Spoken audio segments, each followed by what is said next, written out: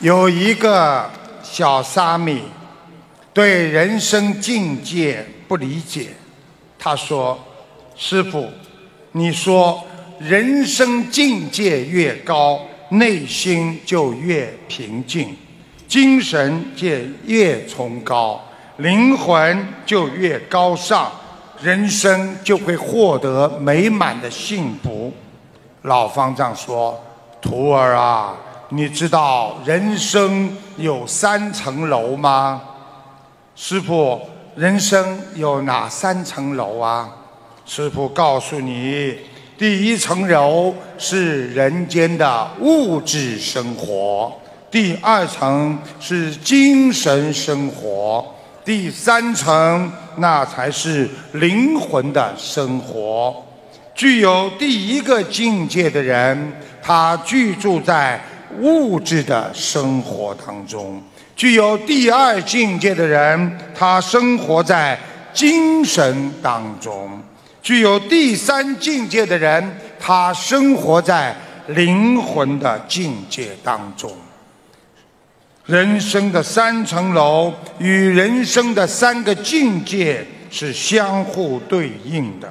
你要知道，你居住在几层楼吗？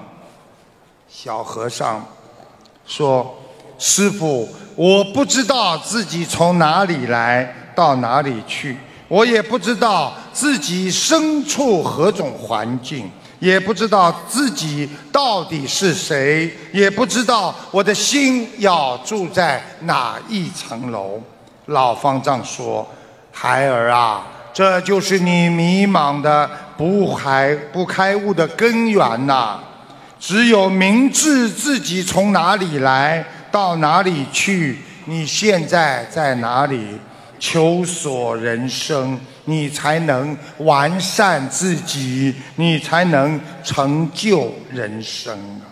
对人间一切的欲望，不要用眼睛看得太真呐。这个故事就是告诉我们，我们人就是把这个世界看得太真实了。想一想，佛法中的贪嗔痴的“嗔”字，那就是一个木字，一个真字，就是因为我们的人把眼睛看这个世界一切，以为是真实的，你才会产生恨意呀。佛菩萨。为什么眼睛都是七分闭三分开呀？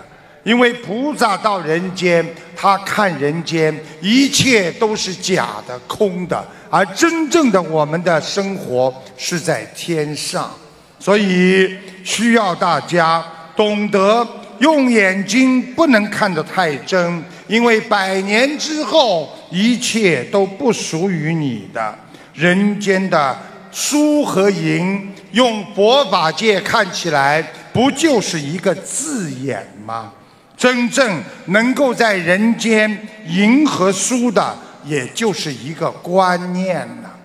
实际上，人生你把自己定位成人，别人就把你当人看。你做的都是人的事情，别人说你是个人。你天天做的好人的事情，别人把你说成是一个好人；你今天天天的暴打别人、贪欲、烦躁，见东西就要抢，见东西就要要，你像动物的本性拿出来，别人就会骂你是个畜生。在人间争抢，别人就把你当动物看。你整天在背后阴别人、煽风点火、残害别人的良心，你点鬼火，别人就会把你当成鬼看。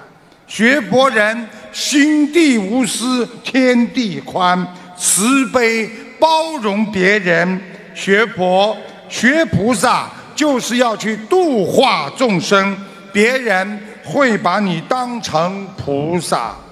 人的自我境界一定要脱离人间的欲望，因为欲望会使你走下坡路，所以下坡路是最容易走的，而我们今天是走上坡路，虽然我们学佛人也有痛苦，但是学佛人的痛苦那是暂时的。